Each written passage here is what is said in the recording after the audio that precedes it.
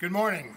On behalf of the Department of Veterans Affairs, Northern California Healthcare System, the City of Rancho Cordova, Alpha Graphics, Rancho Cordova, Rancho Cordova Elks Lodge number 2484, and Republic Services, I welcome all of you to the 10th Annual Memorial Day Ceremony. Our theme this year, In Peace and War, remembering our veterans and honoring the United States Merchant Marines. I know they got mariners here, but I go back to the old days. I'm going to stick to the Marines. I would like to thank the Rancho Cordova River City Concert Band. They do one heck of a job. Tom Seaton, Janet, great job. Now that you're all seated, once you all get up and say hello to the person next to you, shake hands, whatever you want to do. If you got a cold like me, you better not, but that's all right.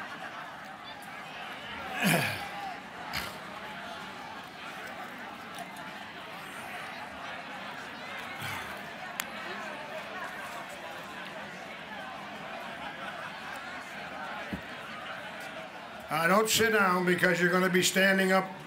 So I forgot to mention that. Be sure you remain standing.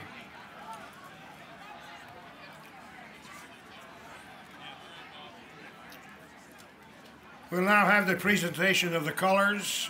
We got the Cordova High School U.S. Air Force Junior ROTC under direction of Richard J. Keys, Lieutenant Colonel, U.S. Air Force retired, and Raymond A. Kirkland, Command Sergeant Major, United States Air Force retired also. So, gentlemen, if you'll present the colors.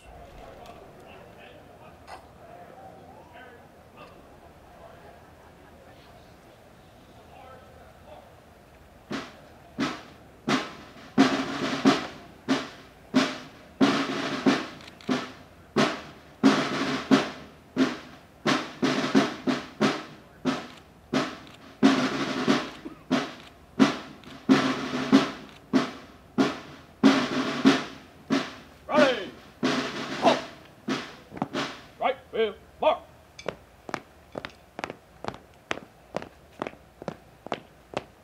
Ready! Halt! Present color! We'll have the singing of our national anthem performed by Janice Schwartz with the River City Concert Band.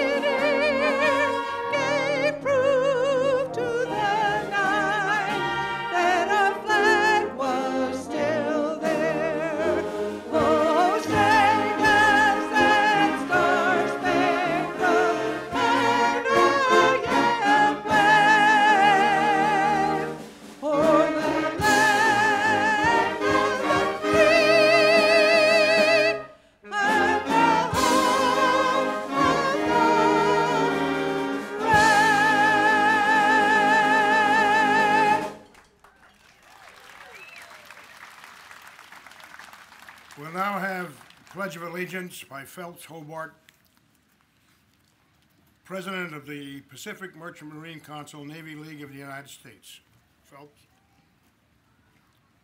Present arms. I pledge allegiance to the flag of the United States of America and to the republic for which it stands, one nation, under God, indivisible, with liberty and justice for all. Thank you. Order, out. Order arms. Out, out.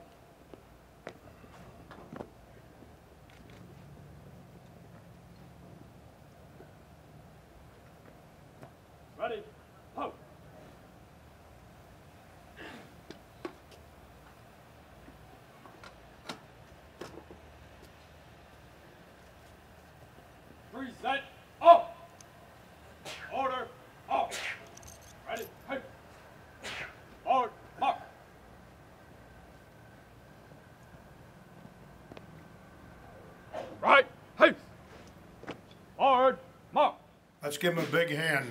Great young unit.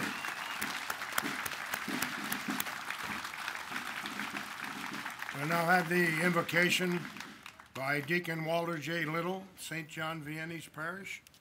Good to see you again, buddy. Good to see you, sir, always.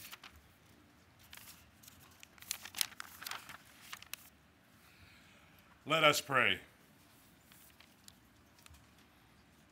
O God of life and of history, we gather on this occasion for sacred remembrances and a renewal of our spirits. We remember with a sense of gratitude and humility all those who gave their lives in this nation's wars and conflicts. We come to renew our resolution to make of their deaths a meaning that shall be for peace and justice and the birth of a new hope in the earth. May we remember this day the dead not only of our nation's wars, but of also but also of all wars in all lands where men, women, and children have lost their lives to the harsh and bitter cruelty of human combat. In our remembrances, may, may we not be puffed up with the overbearing pride of a false and narrow patriotism, but rather may we be endowed with a generous patriotism that reaches out to the human family on every continent and shore. May we come to the love the earth and your universal kingdom of love and justice with a zeal equal to and surpassing our love of country.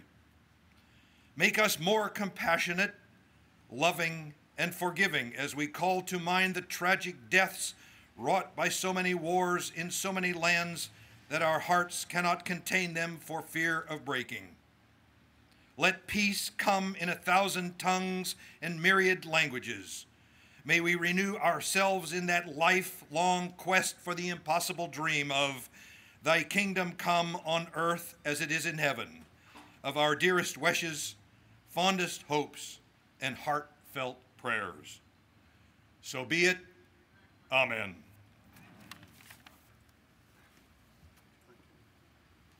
Thank you, Deacon. You may be seated.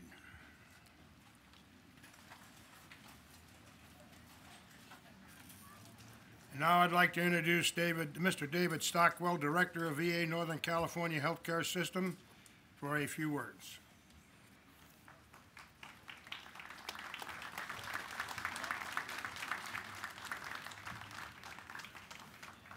Well, good morning.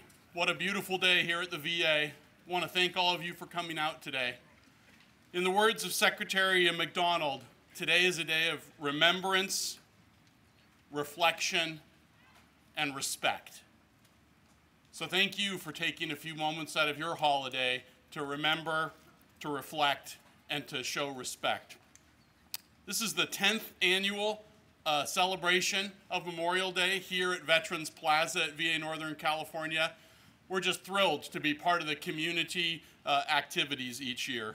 I want to give a big thank you to the city of Rancho Cordova, uh, the members of the organizing committee, uh, our employees, and most of all to the veterans that we serve here at VA Northern California.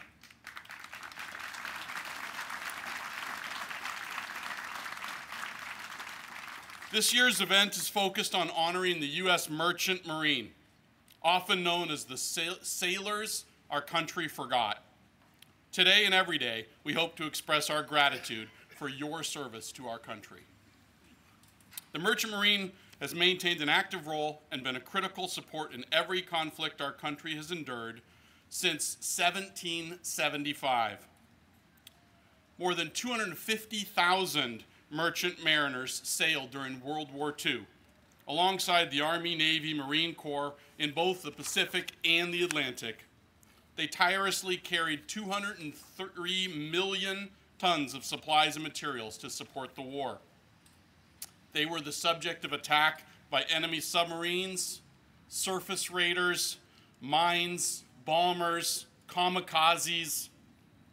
Amongst the services, the Merchant Marine had the second highest casualty rate during World War II, which often goes unrecognized. They lost 733 ships during that conflict and more than 8,600 lives. Merchant ships also played a significant role in the Vietnam War, as ships crewed by civilian seamen carried 75% of the supplies used by our armed forces. The Merchant Marine were promised the same benefits by President Franklin Roosevelt as other veterans, but he passed away before he could make that happen. And for most Merchant Marines, it wasn't until 1988 that they achieved veteran status like their fellow um, soldiers, airmen, seamen. For some, it wasn't until 1998. So today we're here to specially recognize those that served in the U.S. Merchant Marine. We must recognize their unwavering sacrifice for our country, motivated by duty and a sense of calling.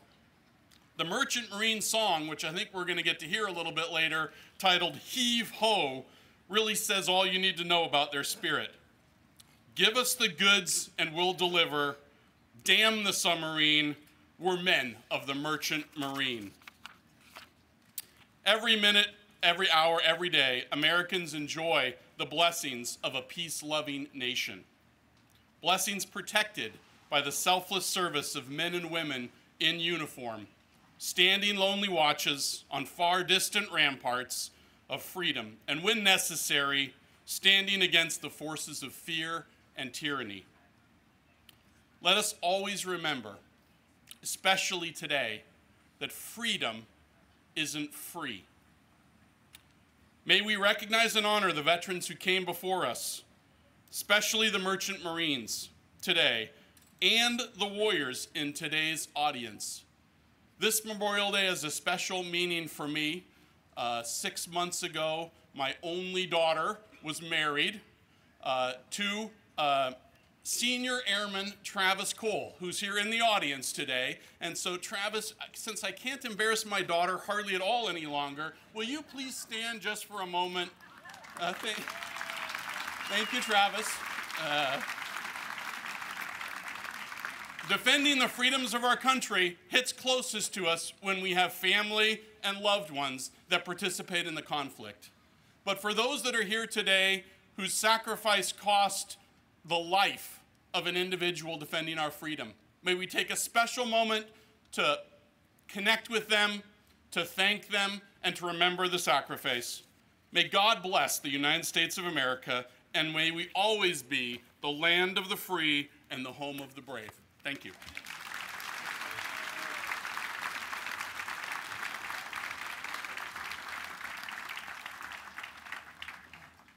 Next on our welcoming list is the Honorable David M. Sander, Mayor, City of Rancho Cordova. Let's give him a hand.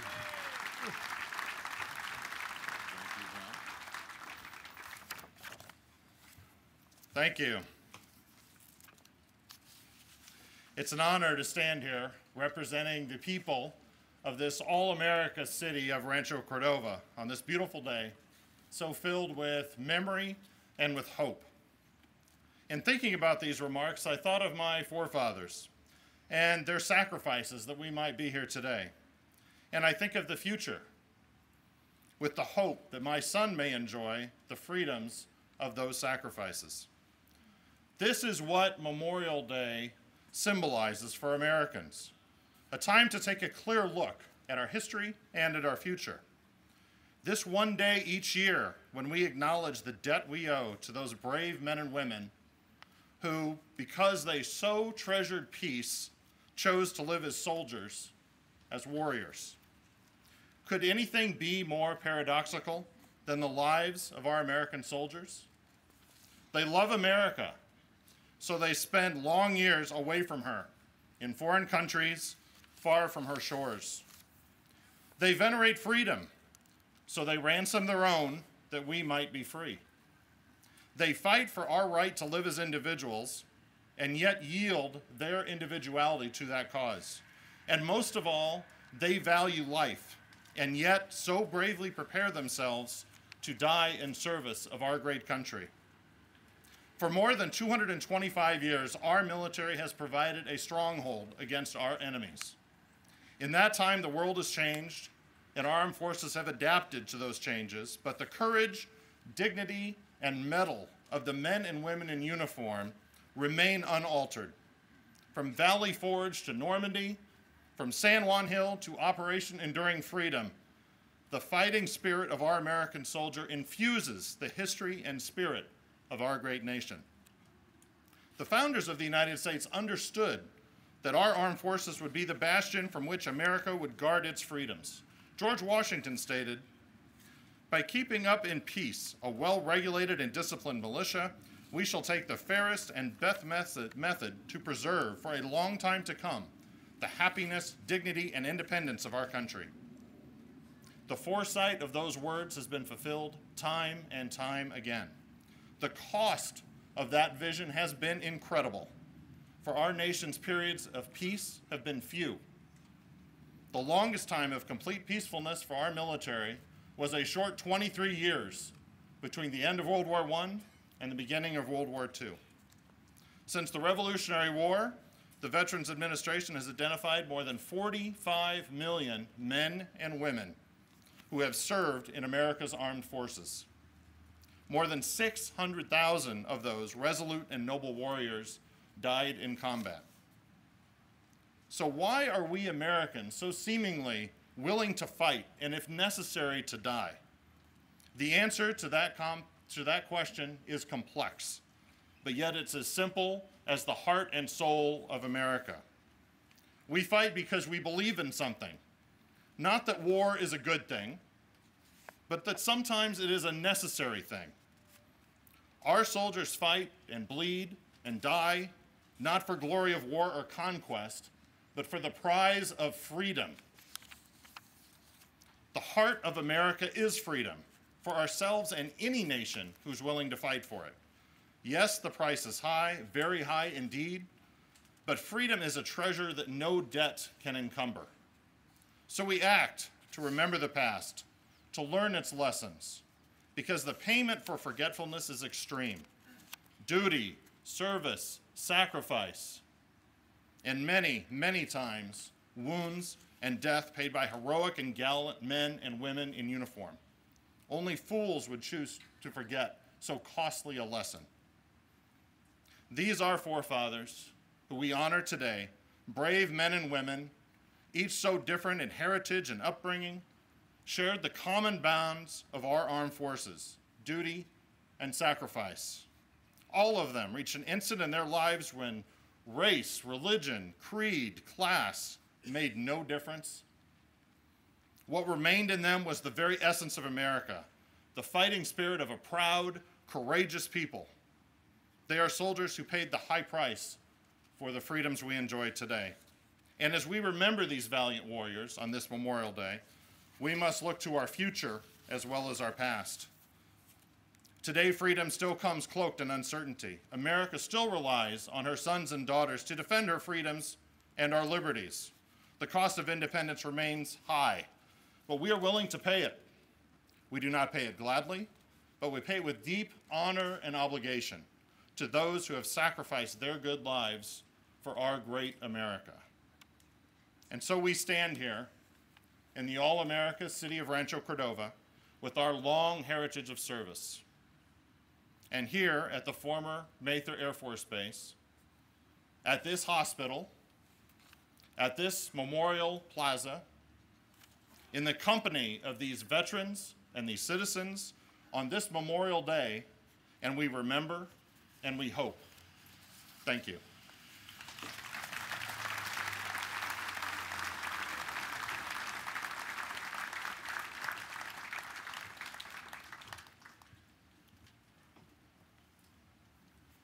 And now the Honorable Robert J. McGarvey, Chairman of the Memorial and Veterans Day Committee, our boss. Give him a big hand, you know, what can I say?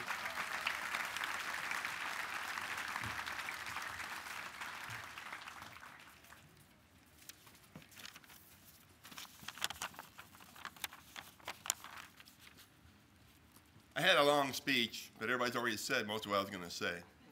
Actually, I had this much, so it'll be a little bit shorter. Since this is our 10th annual Memorial Day ceremony, we um, started a year ago. We started in November 11, 2006. That was our first Veterans Day. Then 2007, Memorial Day. So this is our 10th, and I'm very glad to have that because we didn't have anything really. Didn't have a parade, didn't have a place. This was dedicated in May of 2006. It's a perfect place to come. So we're um, continuing to honor all of our veterans and their families. That's one of the things about Memorial Day is we talk about families too, because they also sacrifice. Today we honor the veterans and their families for the past, the present, and the future, and find words to say thank you to the Merchant Marine and each one of you here today. It's be difficult sometimes to say the right thing. President John Fitzgerald Kennedy said, as we express our gratitude, we must never forget that the highest appreciation is not to utter words, but to live by them. Everyone here does exactly that. They live by the words and they show all of us exactly what honor is. Thank you, all the veterans. Thank you to the Merchant Marine. And we have many other things we're going to have for our theme this coming uh, Veterans Day and Memorial Day. But today is the day. And hey, there's a breeze. I like that. Thank you all for coming. Happy Memorial Day.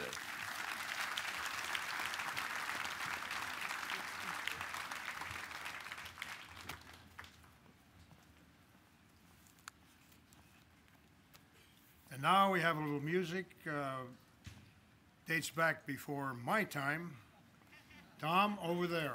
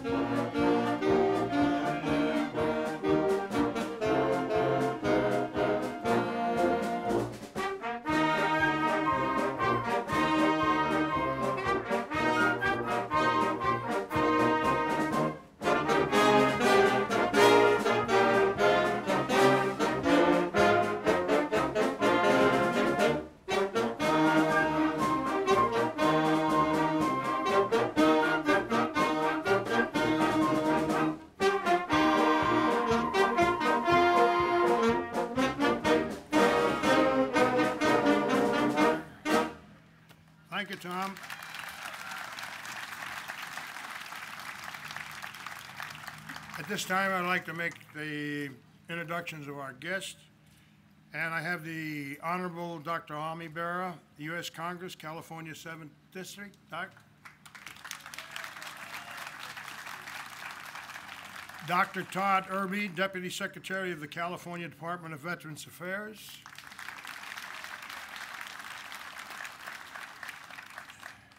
The Mayor of Rancho Cordova, David M. Sander. Vice Mayor, Mayor Donald Terry. Council Member Robert J. McGarvey.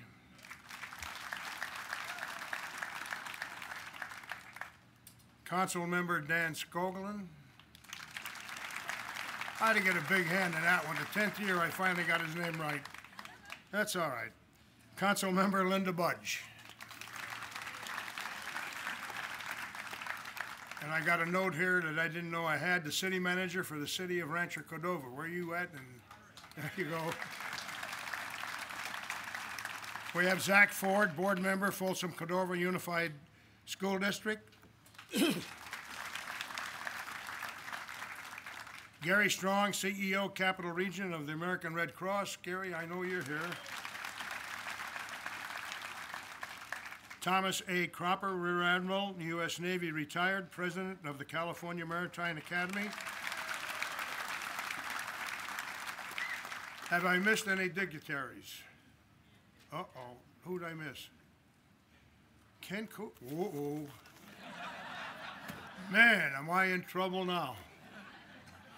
The Honorable former Councilman of Rancho Cordova, Ken Cooley. My apologies, sir.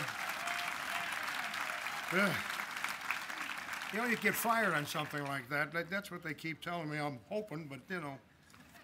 Anybody else I missed? Okay, I'm going to turn this over to Rick Swinford, the PER from Rancho Cordova Elks Lodge, and he's going to take a segment of this and possibly my replacement, maybe. Behave himself. Thank you. Good morning. We're going to do a, a small presentation for 100 years of memory for the conflicts that we've been in. But I have to, one of, one of my sign holders just left in an ambulance. Uh, I pray that he'll, uh, he'll be okay. Jack from the Rancho Cordova Lodge, we, I need you, buddy. So if you'll go over there and, and grab your sign, they'll talk you through it. We're going to do a recognition of veterans right now. The band will play an armed services medley. When your service song is played, please rise and be recognized. And when they're done with their service songs, the Merchant Marine Anthem will be played by Ralph Buell. Those of you that are merchant mariners, please stand and be recognized at that time too.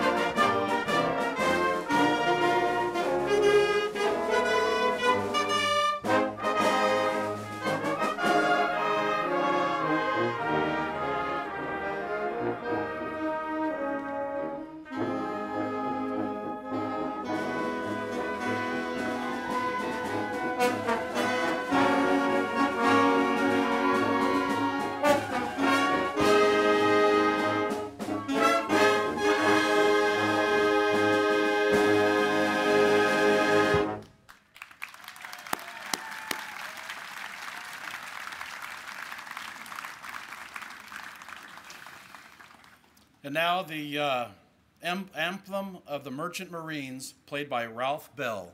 All Merchant Marines, please rise.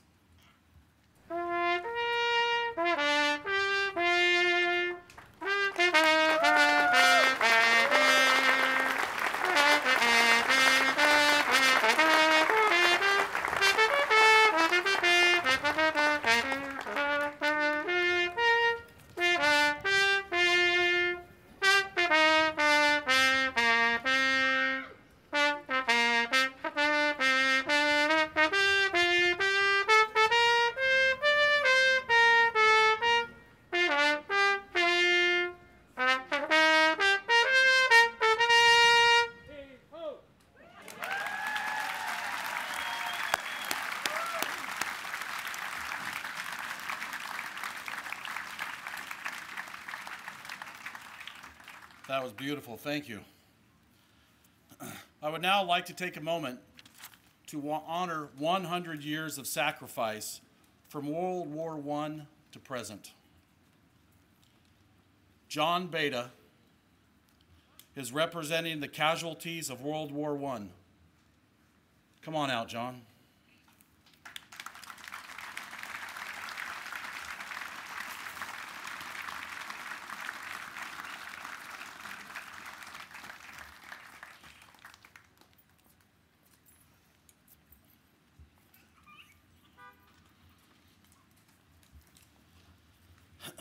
We lost 116,516 American service members in World War I.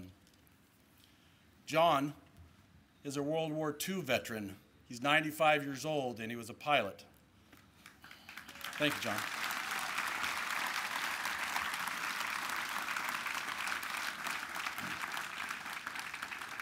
Retired Lieutenant Colonel Robert G. Burns will be representing World War II.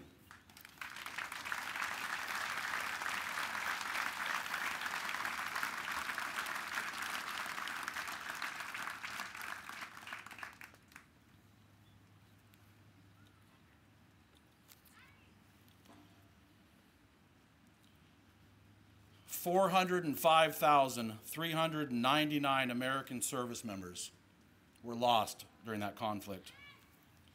Colonel Burns served in World War II, Korea, and Vietnam.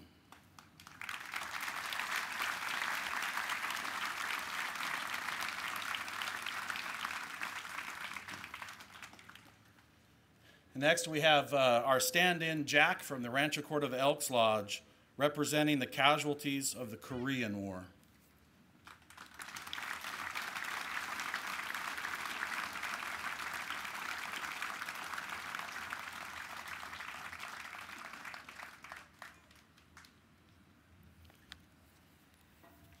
We lost 36,516 American service members in Korea. Ken Anderson, retired United States Army, will be representing the casualties of Vietnam.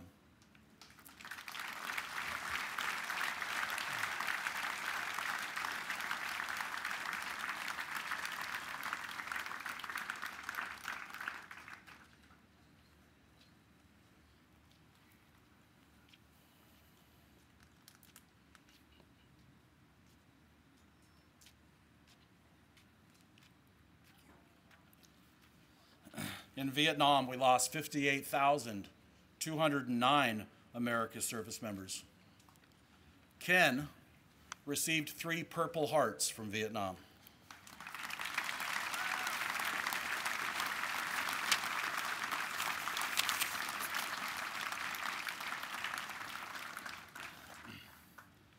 Next, we have James Rowe. He was in the United States Marine Corps. He will be representing three conflicts Beirut, Grenada, and Panama.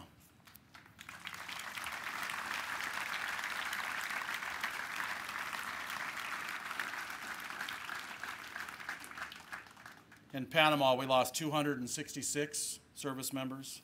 In Beirut, 19.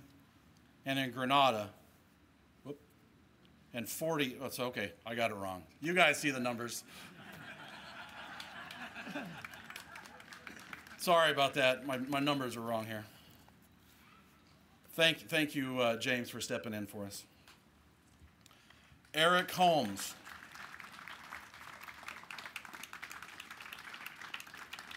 Eric was in the United States Navy. He is representing the Gulf War.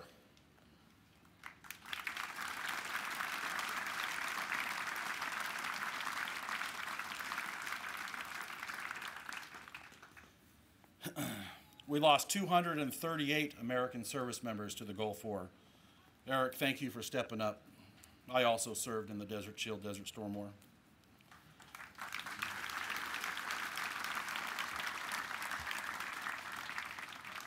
Tara Ricks.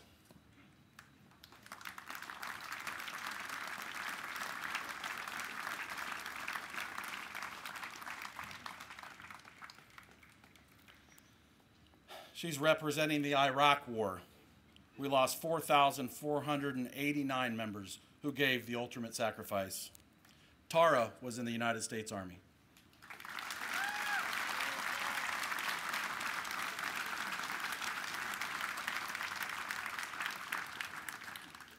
Kingston. And I got Kingston's last name wrong, I'm sure. Durham? Dillard. He's representing the war in Afghanistan.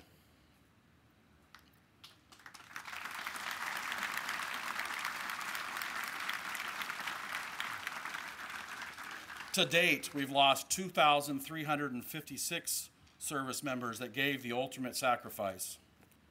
And unfortunately, as the war on terror continues, we continue to feel the pain and lose American lives. As we gather here today, America's finest are in the battlefield as we speak, braving the fight and protecting our homeland. Kingston was also in the United States Army.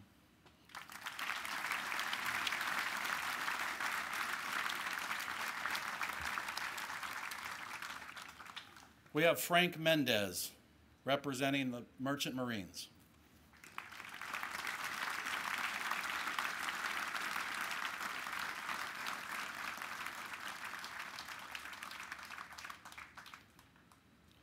In World War II, we lost 9,521 during that conflict. Thank you, Frank.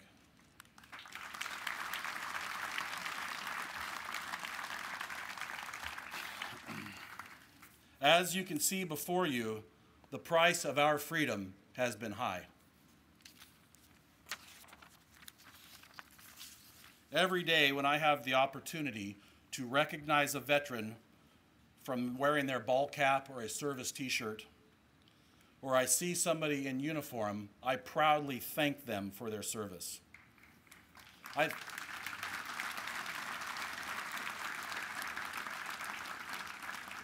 I think we all do.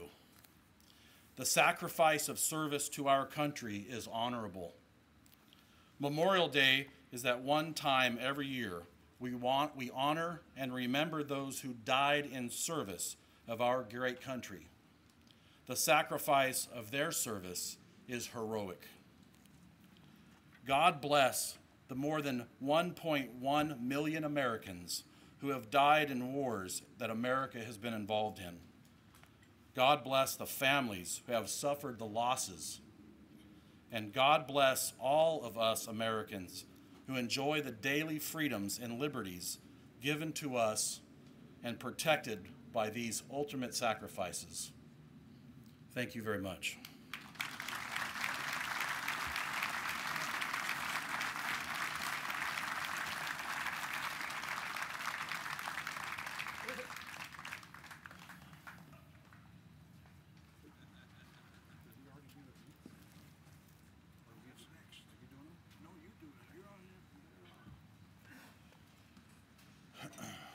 We're going to do our honorary placing of the wreaths.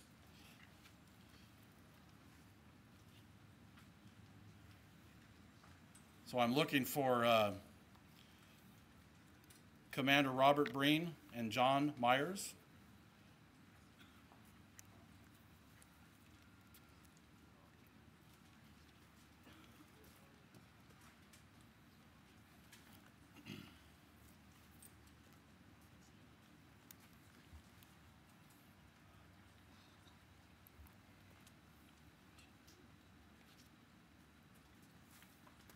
Entering from my right are Commander Robert Bean, President, and John Myers, Pre- Vice President of Military Fa- Affairs, and Tal Norwood, Public Affairs Officer, Sacramento Council, Navy League of the United States.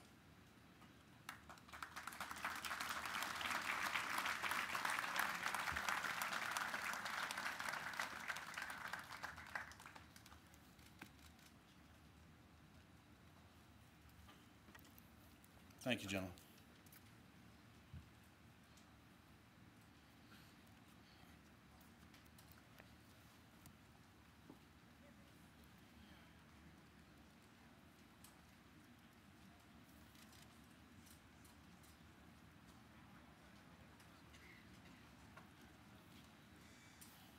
Also entering from my right, Harvey Holcomb, President, and Byron Drew, Commander, National Sojourners Incorporated, Sacramento Chapter 133, and Heroes of 76.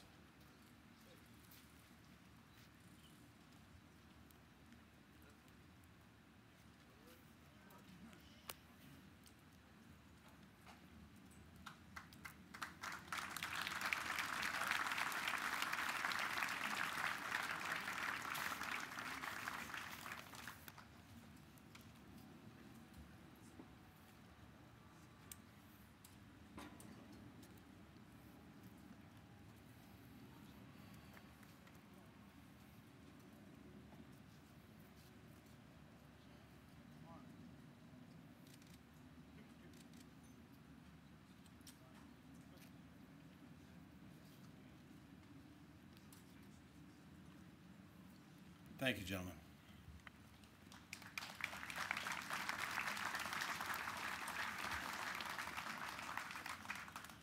We're now going to do our recognition of newly placed bricks. I call uh, Dr. Don Erkenbrack, Lieutenant Colonel, United States Army, retired, Associate Director of the Sacramento Valley Northern California Healthcare System.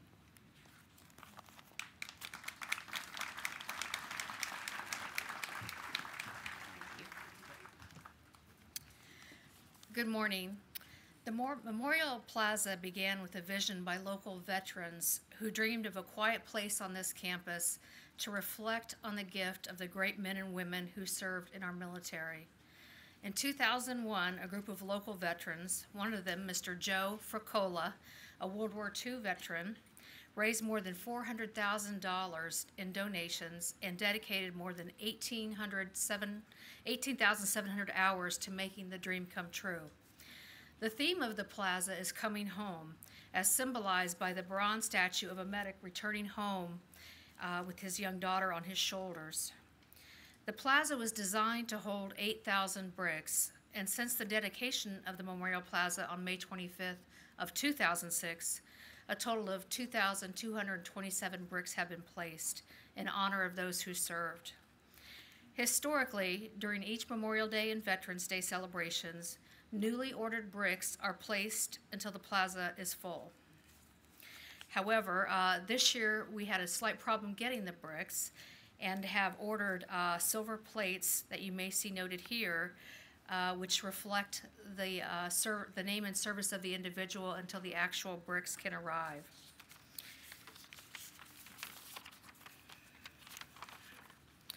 The actual bricks uh, will be will arrive and be placed by the end of June of 2006. I will now read the names of those who will be immortalized on our plaza. As each name is called, a representative of the honoree will be escorted to the plaza and will place a carnation on their brick in memory of their loved one's service to our country.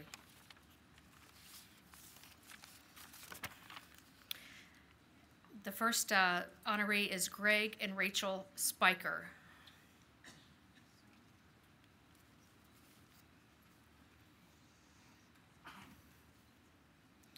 Kathy Pulse.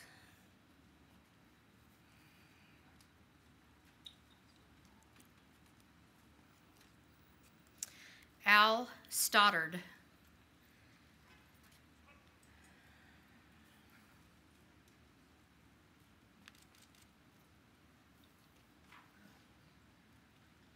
Terry Bain.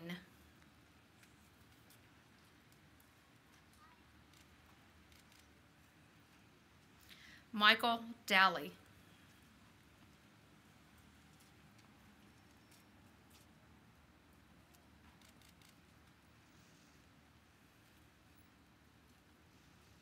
Joe Pfiffhofer.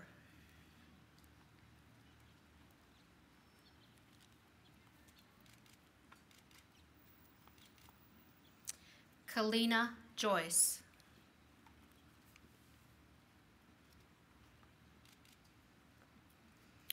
Robert Malin.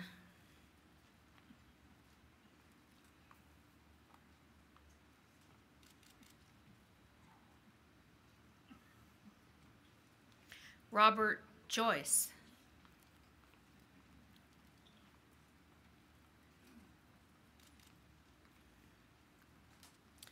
Robert Wagner.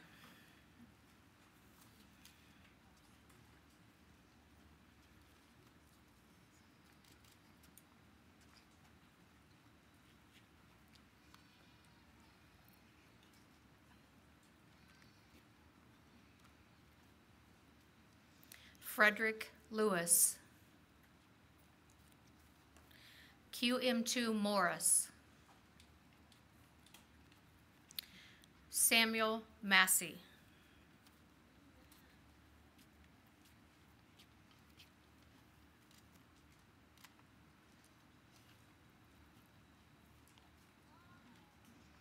Vincent Massey.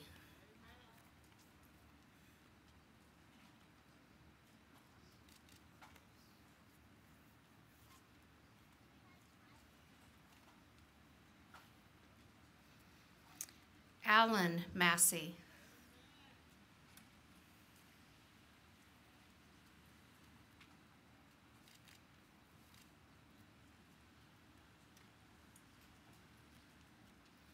Deborah Massey.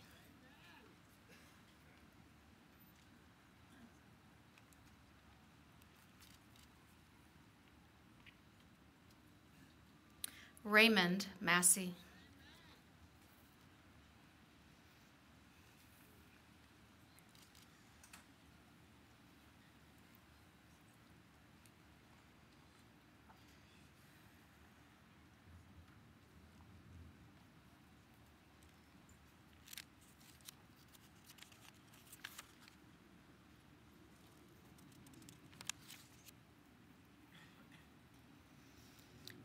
B.M. Manzanares.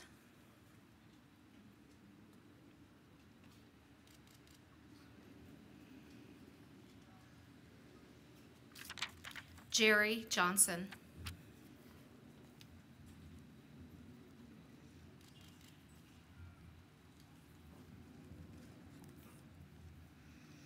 Assembly 3451 to honor all veterans.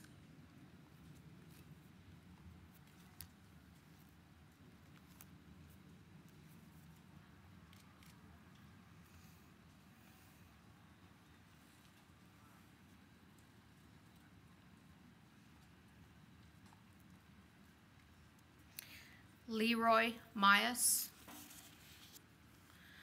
Joseph Yuli.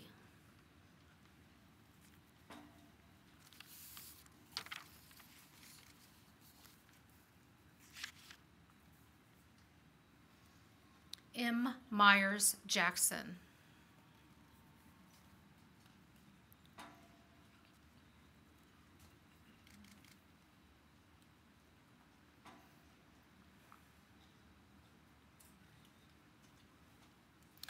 Keiki Myers.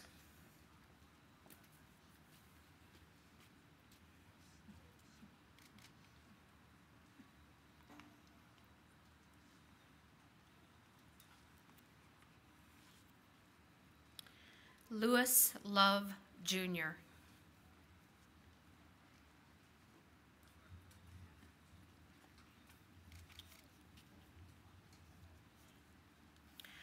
Robert Jennings.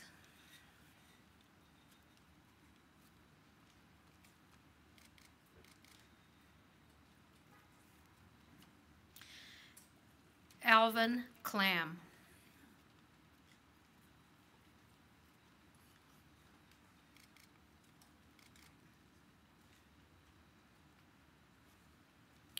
Paul Bagnaski.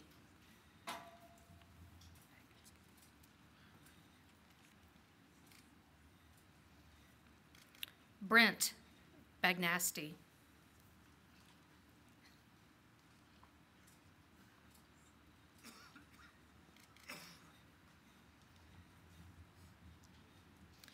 William Clark.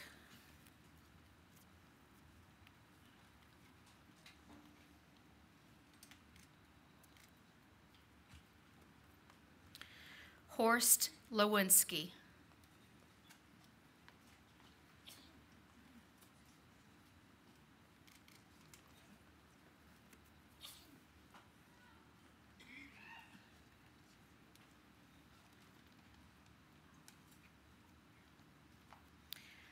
Clayton Berrysford.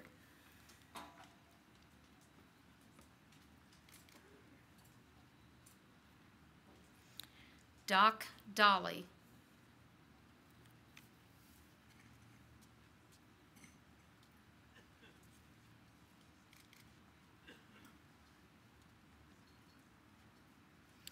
Don Dolly. Mike Dolly. John McIntosh.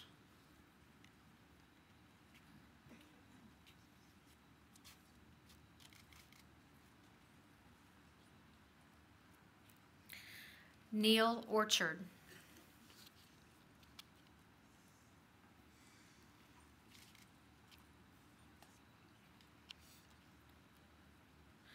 Dan Sikich.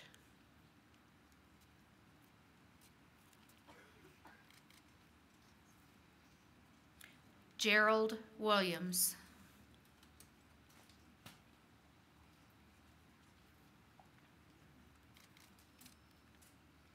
Robert Fink. Scott Lewis.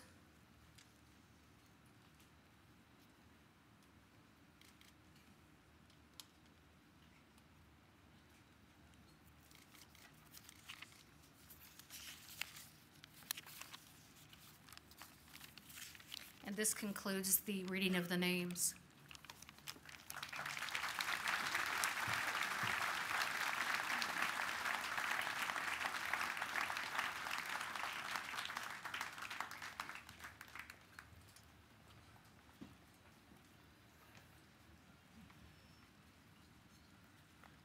Tom, you're on. That's the next thing in the program.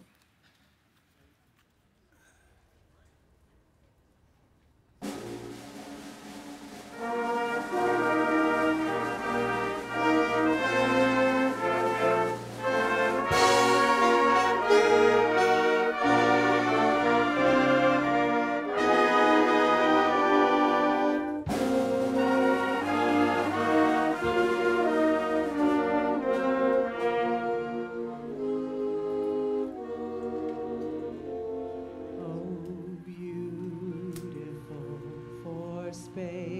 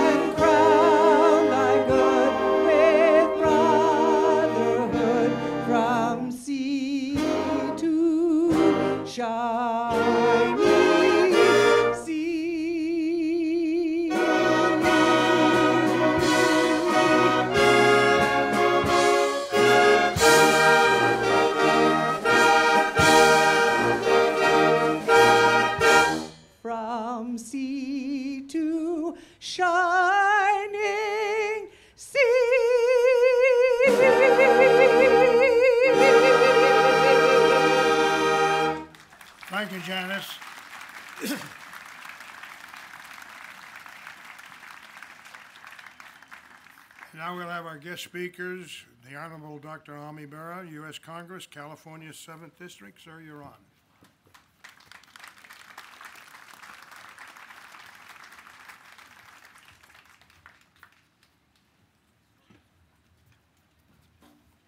Thank you, Bob. You know, I love this statue here, Coming Home, because when our sons and daughters answer the call to duty and go off to protect our country, protect who we are as Americans and the values that our country was founded upon, we wish and pray that they all come home safely. But we know that not to be the case. And that's why Memorial Day is such a sacred holiday for us. Because it is the day that we stop and take pause and say prayers and thank those that paid the ultimate sacrifice our brothers and sisters, our sons and daughters that did not return home, and to their families who paid that sacrifice. Because as we've already heard, our freedoms are not free. It is those that answer that call to duty to protect us. And on behalf of a grateful nation and a grateful community, we say thank you for that sacrifice. We also know, you know, looking at um, those that perished in the conflicts. Ours is not a nation that seeks war. Ours is not a nation that seeks to conquer other nations. But ours is a nation that protects the values that our country was founded upon the values of freedom and individual liberty. And that is what those men and women, our sons and daughters, stepped up to do to, to, to protect who we are and the values upon which our country was founded.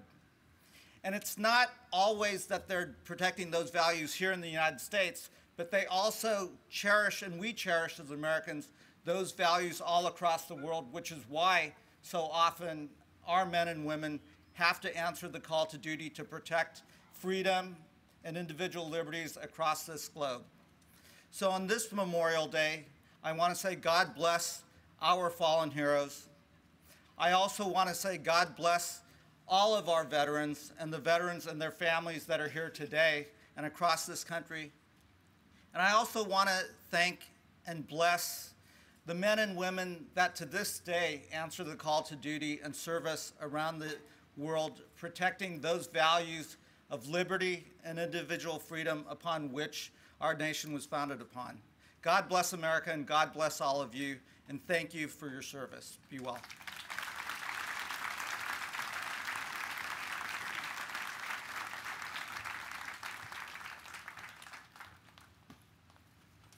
Thank you, sir. And now we have the Honorable Ken Cooley, California State Assembly, 8th District.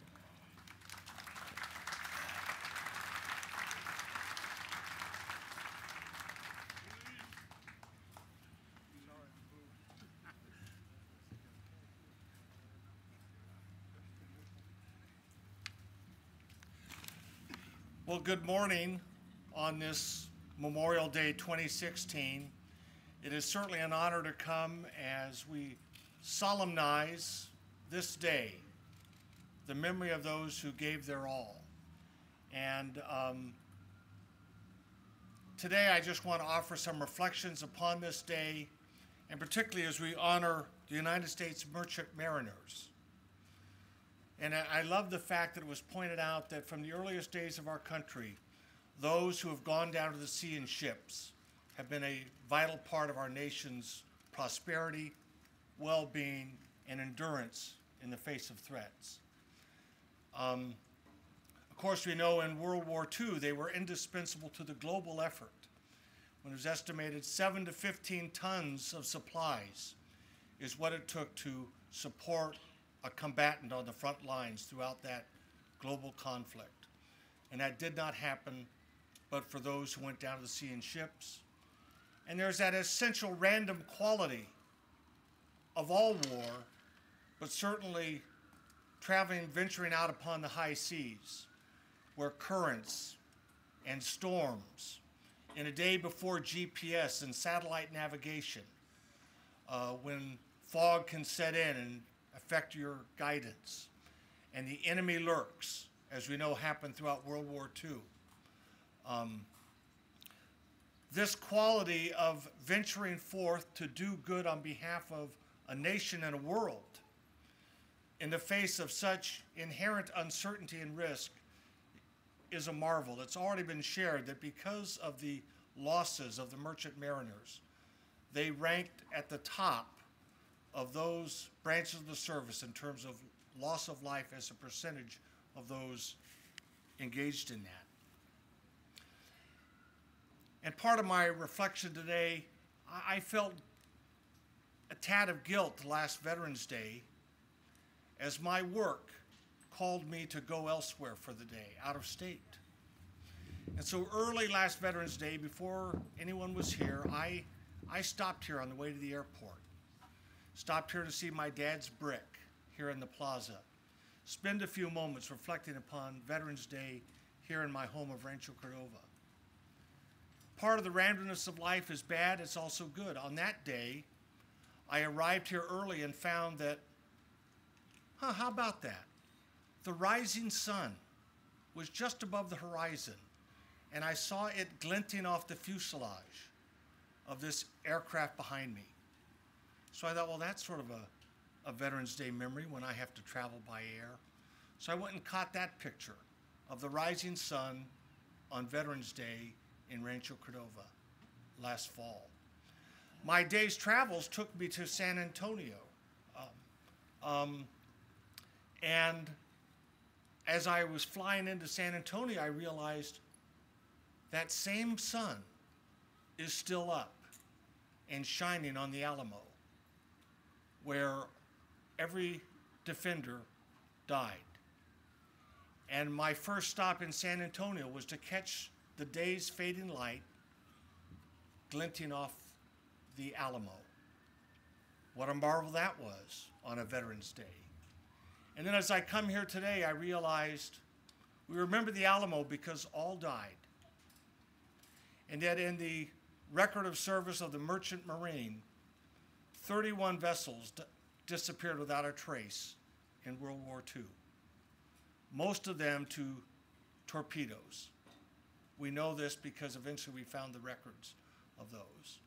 And so that reminds us that this branch of our armed services, whom we honor today, is a branch that, when things went good, they carried the logistics on which the entire global war effort mattered. And when they did not go well, they suffered their own type of Alamo on the high seas, lost, remembered. So, to conclude, I wish to note that um, as this is the year in which we remember Pearl Harbor, the 75th anniversary, December 7th, 2016. Also on December 7th, 1941, the SS Cynthia Olson was the first U.S. flagship torpedoed by a Japanese submarine in World War II. So as we later this year reflect upon Pearl Harbor, we are reminded that the Merchant Marine was there at the beginning, and we honor them this day. Thank you very much. It's an honor to be here.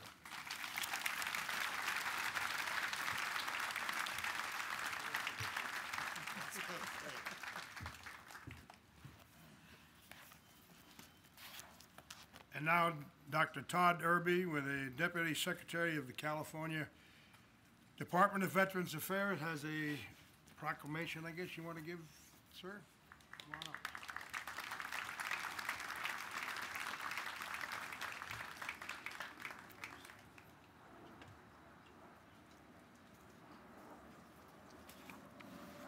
Good morning, ladies and gentlemen. As an Air Force veteran,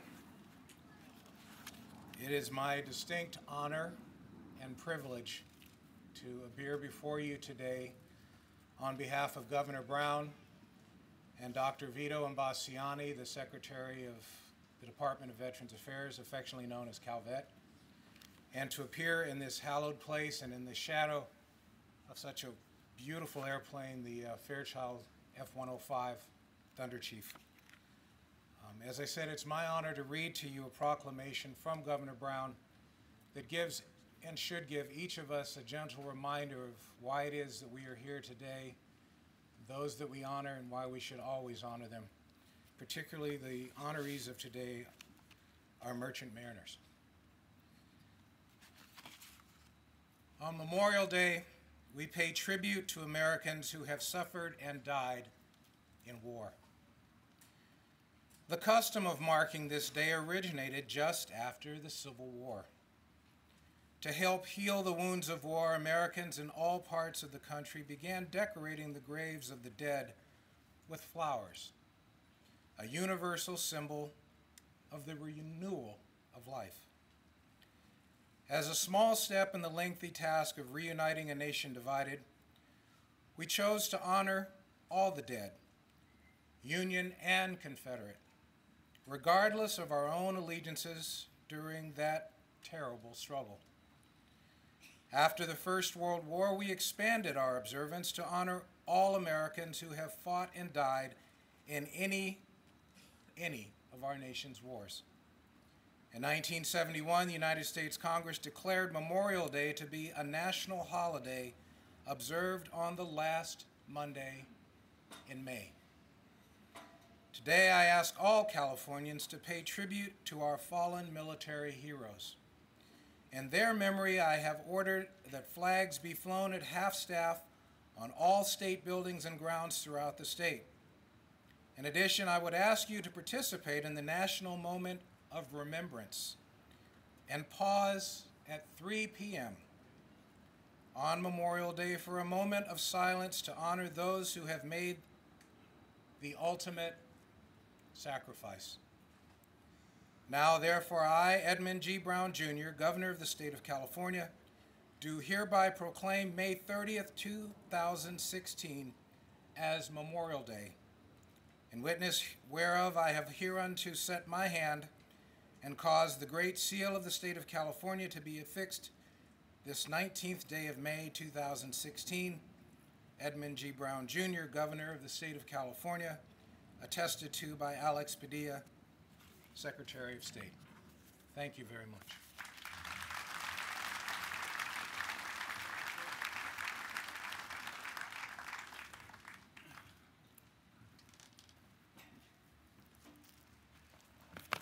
As everybody looked at their watches, we are running a little late. So I'm going to take a liberty here, and I think it's in respect to the Admiral who's going to be speaking. We're going to go ahead and have the River City Concert Band play God's Country, and hopefully during that time the flyover will be, and we'll be on the road again. Tom, you're up.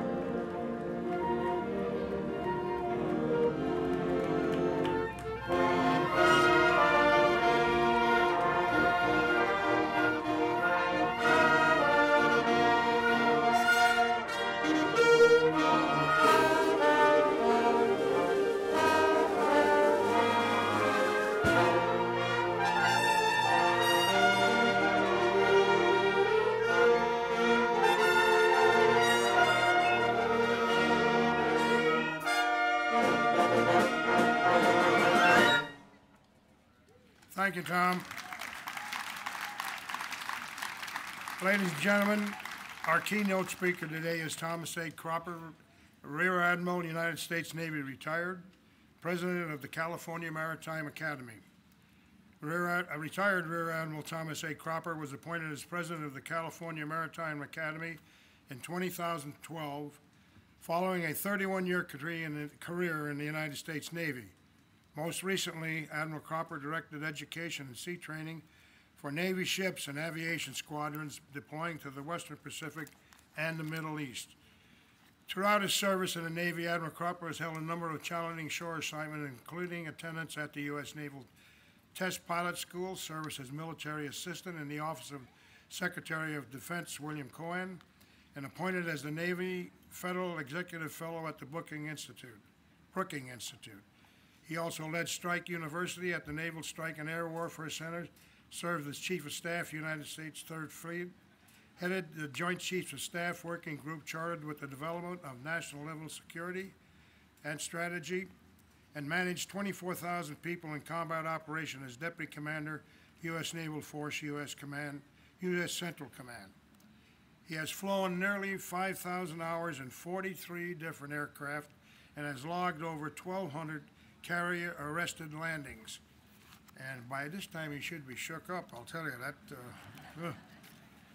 Watch it on the movies, of course, not being in a plane where the ship. Admiral Cropper was commissioned from the Navy Reserve Officer Training Corps program in 1981.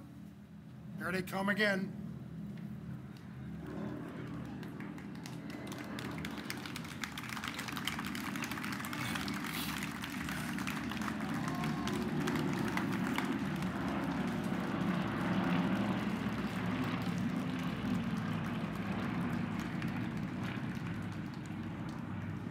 Very nice. Let's give him a big hand.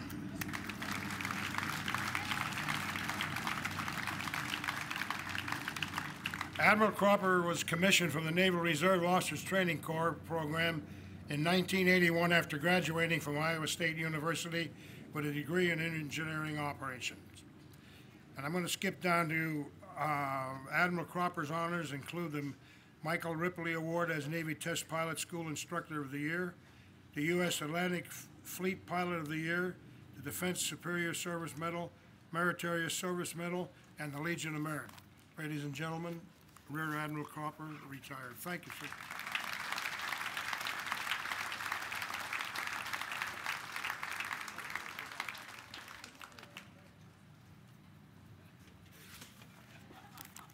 Well, good morning.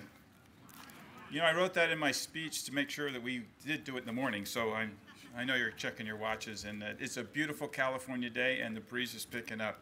And it's, uh, Dr. Irby, I also want to say thanks for being at an Air Force base.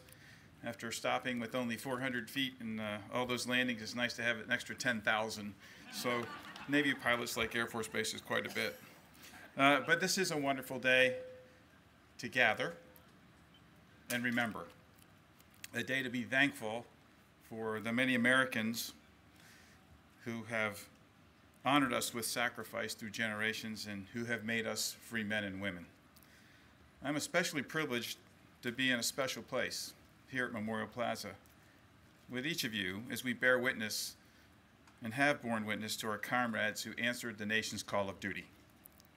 I want to uh, thank our community leaders from the many impactful organizations here in Rancho Cordova for their very kind invitation for me to be here this morning, so thank you. Today, we observe Memorial Day. This is a tradition, as Dr. Irby mentioned, that uh, stretches back following the horrific toll of the American Civil War that ended 150 years ago. It was originally known as Decoration Day, and this national holiday serves to remind us of those who gave up their future so we could have ours. Throughout our history, millions of men and women have put on the cloth of the nation and put their li- lives on the line for our freedoms.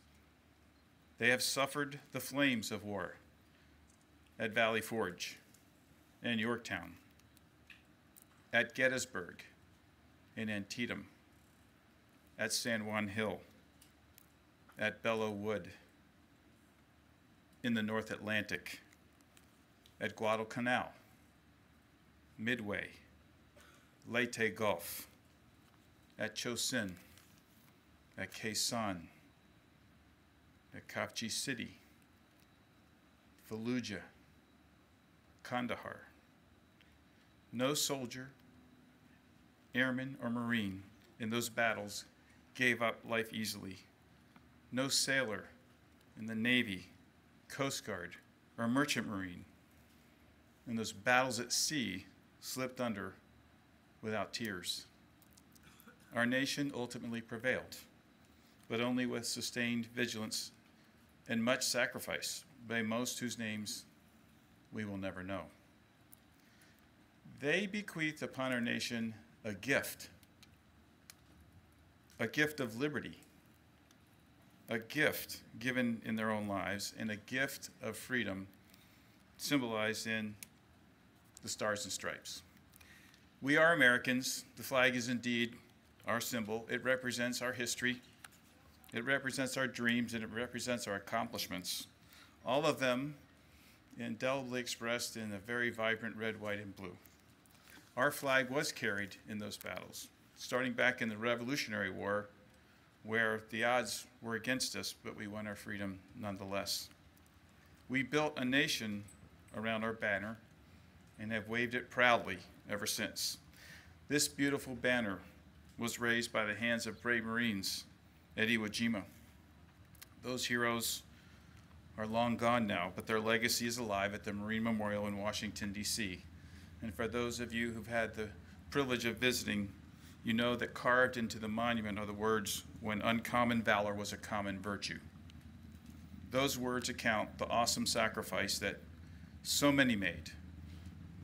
Those sacrifices by our soldiers, sailors, airmen, Marines, Coast Guardsmen, and merchant Marines throughout every conflict.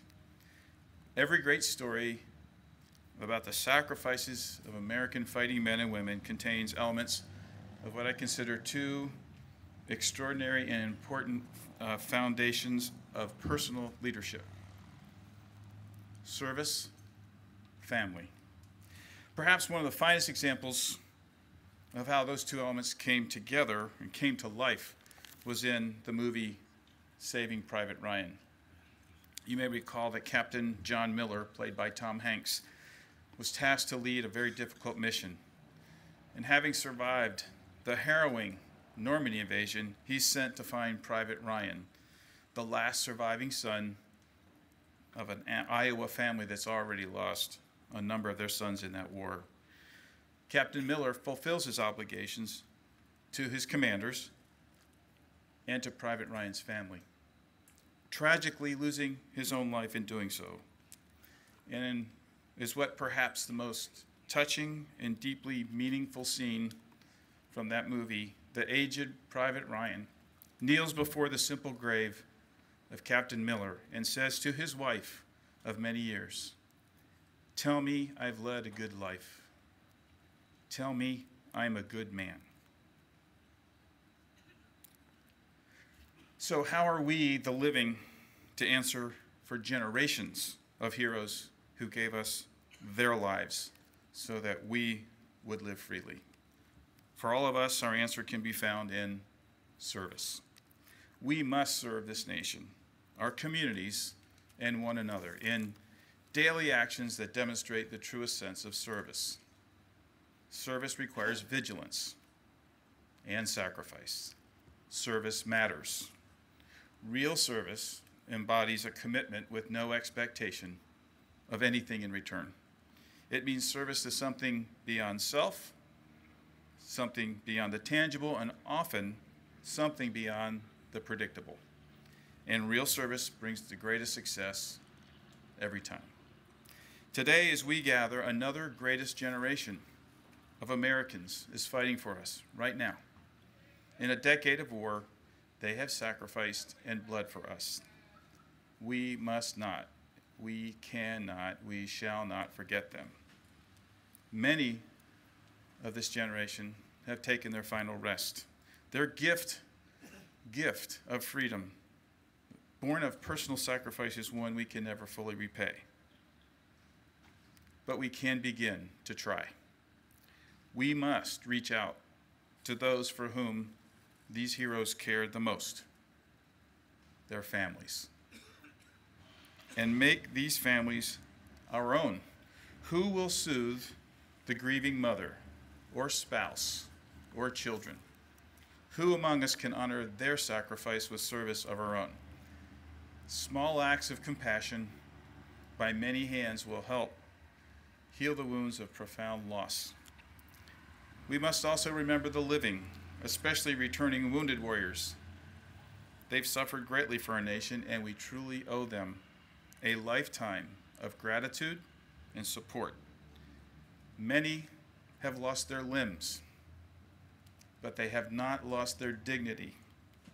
It is our obligation to see that these citizen heroes are not forgotten and that we help them and their families adjust to the new realities of their injuries. These dedicated warfighters deserve our very best attention and sustained community efforts. I want to stop and talk about meaning. As mentioned earlier, meaning. Something about what we're doing today has meaning. The service of our veterans has meaning. The sacrifices of our dead and wounded have meaning. They give meaning to our own lives. Allow me to paraphrase this idea of meaning from a letter to servicemen and women by actor, economist, and writer Ben Stein. He writes Oprah Winfrey talks a lot about meaning in her life. For her, meaning is dieting and then having her photo on the cover of her magazine cover. This is not meaning. Meaning is doing for others. Meaning is risking your life for others. Meaning is putting your body's and family's peace of mind on the line to defeat some of the most evil, sick killers the world has ever known. Meaning is leaving the comfort of home to fight to make sure that there will still be a home for your family and for your nation and for free men and women everywhere. Ben Stein finished his letter with these words You are everything to us as we go through our little days and you are in the prayers of the nation and every decent man and woman on the planet. That's who you are and what you mean. I hope you know that. Love, Ben Stein. So, on this National Day of Remembrance, I would ask each of us to rekindle our own sense of service and meaning. The covenant we share with our comrades from the Army, Navy, Air Force, Marines, Coast Guard, and Merchant Marine and their families is a sacred obligation we cannot forget. We must remember them. We are free men and women on account of their lives. We must add our own measure to their last full measure so that someday, many long years from now, when we look into the eyes of our loved ones, like that aged Private Ryan, and say, Tell me I'm a good man or woman, we'll already know the answer because we've remembered. God bless our nation's veterans, our fallen warriors, and their ever precious families. Thank you and heave ho.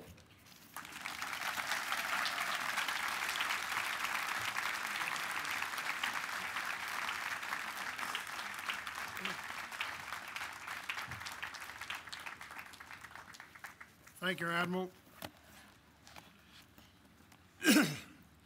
This next one I do every Memorial Day. I ask the band not to play because I got a cold and I don't want to sing and bore you, so I'll just read this if I may. It's, it's called My Buddy. And it's something I think that Memorial Day, uh, it should be read because it's, it's a great song, but it's also great lyrics.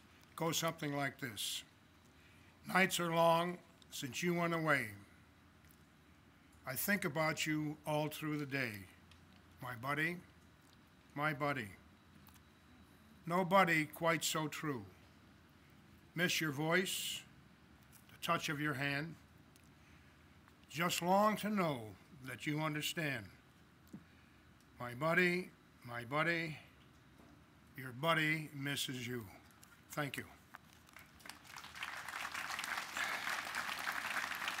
And now, if you will, as your name is called, please stand. These are the people who work all year long. In fact, we'll probably be going next week or the week after, uh, deciding what was wrong and how can we cut it shorter, if we can do that. Anyway, Council Member Robert McGarvey, our chairman. Stacy Delaney, City of Rancho Cordova. Hold your applause we all get done. This way it'll go a little faster. Kim Walker, City of Rancho Cordova. Desley Verdun, City of Rancho Cordova. Evelyn Richardson, City of Rancho Cordova. Tara Ricks, VA Hospital. Maria Alms, VA Hospital. John Nodal Parcia, I hope I got that right. VA Hospital, no. Rick Swinford, PER Rancho Cordova, Elks Lodge, number 2484. Vernon Winthrop, VF Post 10125. Philip Hobart, President of the Pacific Merchant Marine Council, Navy League of the United States. Colleen Wallace, Republic Service, is she here? Uh, she was going to be here, okay. And Janice Foster Downs, Republic Services. If you will, give them a big hand, that's our committee.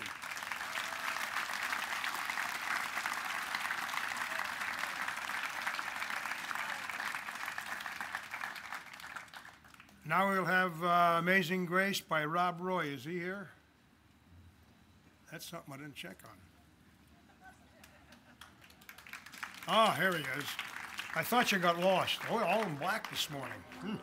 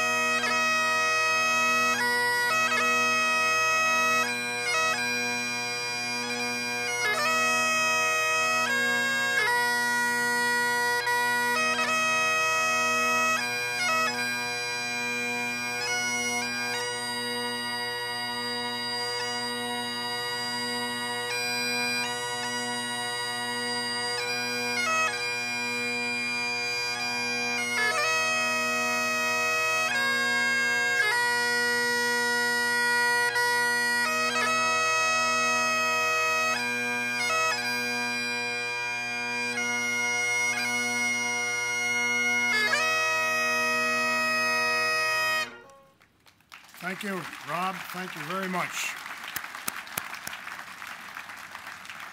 Now we'll have the benediction, if you please rise, by Deacon Walter J. Little, St. John Vianney Parish.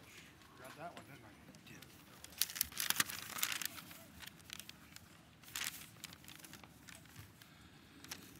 I? Let us pray. Eternal life giver, from the beginning of humankind, your warriors have gathered to share sacred moments, to drink from the cup and to recount battles won and lost. As this memorial occasion draws to a close, we have paused to honor those who have laid down their swords, both mythic and real, so passionately wielded in defense of righteousness and the cause of freedom. As we remember all those who walked with us and for us through the valley of the shadow of death, we are mindful of God's call to the prophet Jeremiah. Before you were born, I set you aside.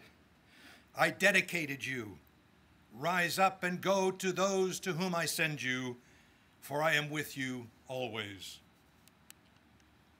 Source of all being, as we reflect on the collage of the past 200 plus years as a nation, we note that our emotions, like life, cover the gamut from the ecstasy and love of relationship to the horror and the devastation of the loss of life taken, and yet through it all, we have managed to give thanks for the countless blessings that we have been given. And so, as we depart this sacred space, this hallowed ground, we again commend their spirits of our warriors to your eternal mercy and care. And may the blessings of Almighty God, who is able to keep us from falling and who raises us up victoriously, be upon us and remain with us and keep us safe. As we say, Shalom, Pacem, Salam, Om Shanti, Amen.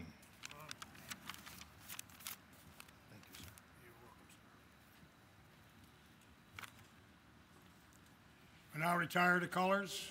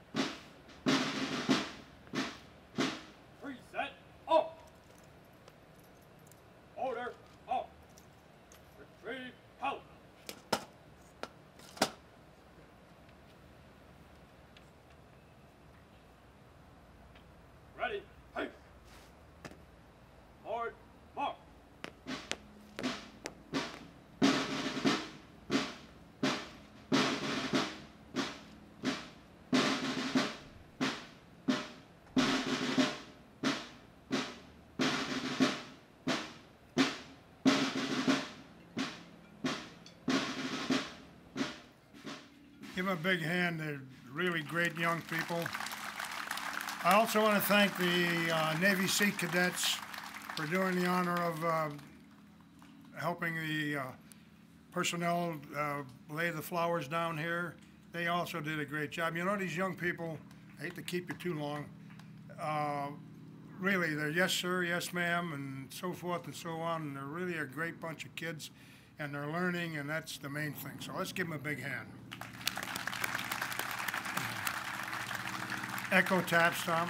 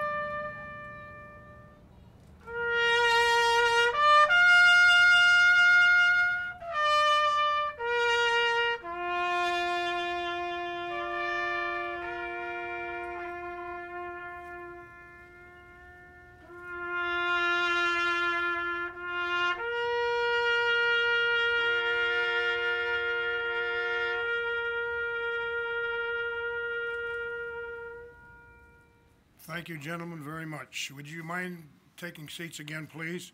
I'd like to introduce Kenneth Blue, President of the Sacramento Valley Chapter, American Merchant Marines, veterans of World War II, would like just to say a few words.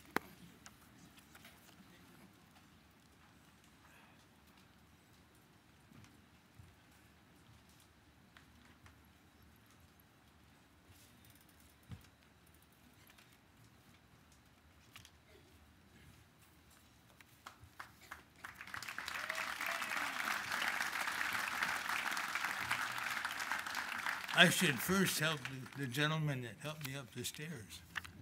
At, 91, I'm classified, I think, as having an ambulatory problem. Okay. Uh, you've had, had a lot of thanks and a lot of credit already. I'll try to keep mine short. But, sirs, the co-chairman, co-master of ceremonies, thank you very much. To the speakers, Mr. Congressman, Mr. State Assemblyman, I'm from the Department of California VA, and from the California Maritime Academy in Vallejo. He's laughing. He, he recognizes me from the time that somebody tripped over the plug and the, and the loudspeaker didn't work. Thank, thank you all. The River City Band, thank you. And the vocalists. And, and the solo musicians. And I think my fellow uh, veterans, all of them would join me in thanking you, ladies and gentlemen, for being here today and helping us with our memories. Thank you very much.